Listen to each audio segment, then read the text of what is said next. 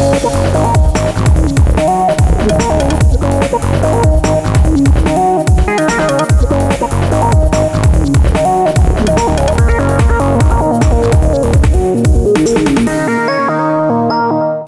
Здравствуйте, в эфире телекомпании «Город» программа «7 минут». Сегодня у нас в гостях э, директор э, «Комсомольской правды» в Рязани Николай Мальцев. Здравствуйте. Здравствуйте. Э, вот э, Николай сегодня у нас в гостях, и, собственно, он нам расскажет о своем новом издательском проекте. В принципе, «Комсомолка» очень любит всевозможные проекты реализовывать, и вот э, с, угу. с очередным вы сегодня у нас в гостях. Расскажите о нем подробнее, что это? Да, это э, новая книжная коллекция издательского дома «Комсомольская правда». Этот э, проект э, составляет 50 э, томов, 50 книг, замечательных э, фотоальбомов э, под названием «Под общим путешествием с удовольствием». Он целиком посвящен различным странам мира, вот, которые могли бы выбрать россияне, рязанцы в данном случае, для своего отдыха.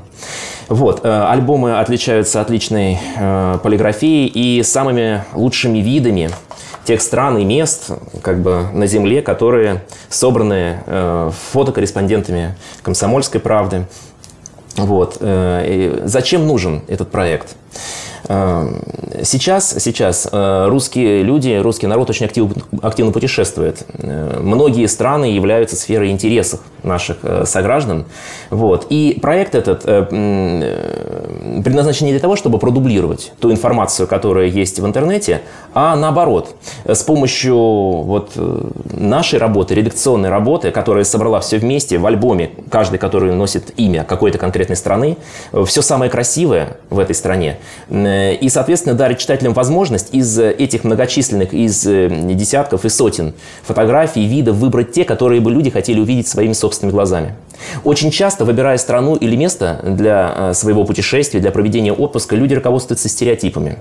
Ну, например, там, пирамиды Египта, или там, не знаю, или вот... Или башня Эйфелева, или, да? да? Или Эйфелева башня, да, вот, или Колизей и так далее. Но по своему даже опыту я хочу сказать, что эти места, при том, что они впечатляют, и они, конечно, великолепны, на самом деле ничуть не лучше многих других мест в той же самой стране, которые просто-напросто волей судьбы, волей фортуны оказались за бортом внимания наших э, русских туристов. И, соответственно, э, они просто не знают этих мест и не едут туда, не хотят посмотреть их своими глазами. Появится в продаже альбом, э, на обложке которого будет одно из красивейших мест Греции. Вот, это бухта кораблекрушения. Угу. Эта бухта находится на острове Закинфос.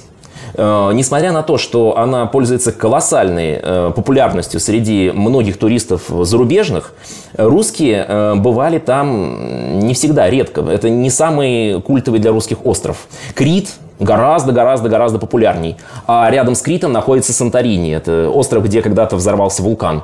Ну и, собственно, вот это является объектом для наших туристических мечтаний. С другой стороны, есть, например, еще Корфу в последнее время стал более. И Родос, конечно, Родос. Угу. Вот, хотя, если сравнивать, к примеру, э, виды э, Родоса и Закинфоса, это еще большой вопрос. Какой будет более впечатляющий. Вот э, для этих людей, для помощи в их поиске по-настоящему красивых мест и создается наша коллекция. Книги, книги будут поступать в продажу в киоске Роспечать, в нашу рязанскую сеть еженедельно, по четвергам. Вот. Э, первый том вы сможете приобрести, наши читатели-рязанцы смогут приобрести по 89 рублей. Вот. Это будет э, том, посвященный Греции. Вот. В дальнейшем э, книги будут стоить цена одна и уже меняться не будет 199 рублей в розницу, а э, при, при подписке в редакции «Комсомольской правды», как это уже сложилось по традиции, можно э, будет значительно сэкономить. Там книга будет стоить 140 рублей. Особенностью коллекции «Комсомольской правды» э, во все времена, вот сколько они уже издаются, начиная великих композиторов, великих художники, музеи и так далее, это э, очень э, высокое качество Э, качество полиграфии, качество содержания при низкой цене, низкой э, в своем сегменте. Потому что даже цена 199 рублей, э, вот, она для наших книжных магазинов является сейчас очень и очень низкой. Причина высоких цен вообще на книжную продукцию вот, на рынке в том, что издаются книги очень малыми тиражами и, соответственно, высока цена. У комсомолки все наоборот. Книги, благодаря тому, что они имеют широкую реализацию, э, издаются тиражами большими. Соответственно, работают по несколько комбинатов для того, чтобы напечатать всю эту коллекцию. И Ярославль, и Рига работает, и Торунь польская, вот, и немецкие книгоиздатели, подчас выпуская одну коллекцию. И, и посему цена, цена сразу опускается в разы. Это позволяет э, делать книги с эксклюзивным содержанием доступным для самых широких масс. Вот в этом э, наша миссия, наша функция. Также я хочу сказать, что от себя, вот, от редакции, что каждому э, нашему э, подписчику, который придет к нам в редакцию, мы обязательно подарим и справочник путешественника, который сделала наша редакция, редакция Рязанской комсомолки, она издает его уже год. Этот справочник направлен в помощь всем, кто отправляется за рубеж. Делаем его совместно с УФМС, вот, э, с таможней. И поэтому здесь приведена самая полезная информация, которая может пригодиться нашим э, согражданам, нашим землякам за рубежом. Вот, в том числе и в экстренных ситуациях, когда, например, они потеряли загранпаспорт или еще какие-то беды. Соответственно, эти вопросы мы заранее обсуждаем на странице справочника, чтобы был уже готовый ответ. Здесь есть даже мини-словарик, вот, который затрагивает шесть основных языков, даже сербско-хорватский сербы, самые настоящие сербы, которые живут в нашем городе, помогали нам в составлении вот именно этого раздела касательно их языка. Поэтому я думаю, что у читателей, у наших, у наших подписчиков не возникнет трудностей при общении за рубежом с местными жителями. С сербами. Да, да, с сербами и хорватами. Они да. грамотные ребята с образованием или? Да, но предпочитают, э, предпочитают э, говорить на своем языке. Вот. Посему, как бы, когда ты общаешься на одном языке с местными жителями, ты э, становишься им гораздо ближе и роднее. Это открывает колоссальные возможности э, за рубежом, да-да-да, в том числе и возможности личного знакомства, и а, как бы впоследствии это будут и значительные скидки, очень выгодные предложения, когда ты сможешь отдыхать совсем не по тем даже ценам, которые предлагают отели. Вот, поэтому я как бы призываю всех э, наших земляков обязательно идти через дружбу, вот, стараться наладить связи между народами в этих поездках.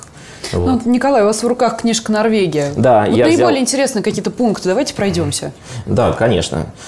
Вот, э, сейчас э, я покажу. Норвегия не, как бы не облюбована нашими туристами в силу э, сложностей с климатом этой страны, но надо как бы отметить, что поскольку там проходит, поскольку проходит течение, теплое течение, Гольфстрим, то Норвегия вполне приемлем для того, чтобы например, летом. Да, есть перепады температуры и погоды, но все вместе, и океан, который находится в Норвегии, создали удивительные рельефы, ландшафты этой страны.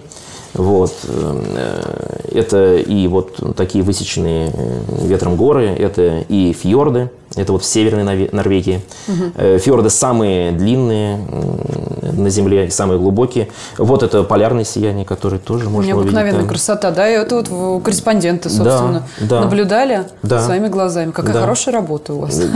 Ну, они, они стараются. Э, смотрю фотографии, конечно, необыкновенной красоты, тут ничего не скажешь. Полезная, мне кажется, да, литература. Да, да. Потому что перед э, любой поездкой, перед каждой поездкой все-таки это ваши деньги, которые многие копят в течение всего года, э, очень важно, очень важно сначала посмотреть, определиться, куда же ты едешь, на что ты отдаешь свои деньги. Потому что есть такие люди, их немало, которые приезжают разочарованными. Вот, я думала, а там все Оказывается, Египет – это песок. Да, да, да, да. А я-то думала, что это целиком пирамиды там везде. Вот. Э, посему, как бы выбрав место, прочитав про него и, и поняв, что это твое, это действительно тебе будет интересно, вот те же города Транхейм, Берген, Ставангер и так далее.